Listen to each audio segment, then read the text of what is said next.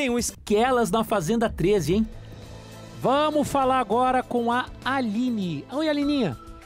Ei, aí, neném, tudo bem? Tudo bem, e você, meu anjo? Como é que tá? Vamos lá.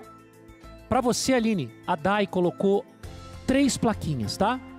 Humilde, generosa e amiga.